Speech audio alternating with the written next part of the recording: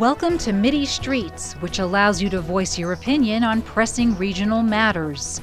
This installment comes ahead of Israel's national election on Tuesday.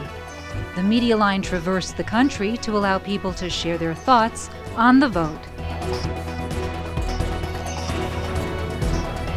I think Bibi, Kitzu. I think Bibi, sorry.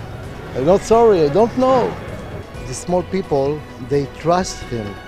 I think now he understands the problem and everything is going to be all right this time.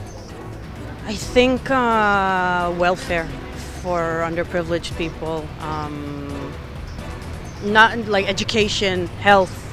Uh, the government has been too behind in these subjects. The security issue in the, in Israel is always the the most important one, but also it's um, it's very important to take care also in the the health care and the life of the citizens.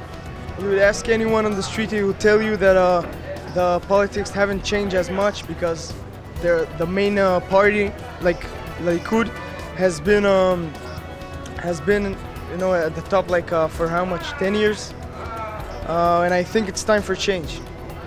The most important issue is the like social confidence of Israeli economics okay it's a very important thing and uh, also uh, you know our מצב ביטחוני, איך אומרים? Our security situation. Our security situation.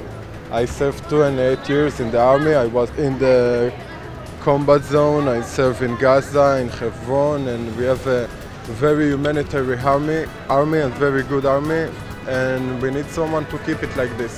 I guess trying to resolve the Palestinian-Israeli situation because I think it has a huge effect on everything that we experience in Israel, um, and I think it's just the most important.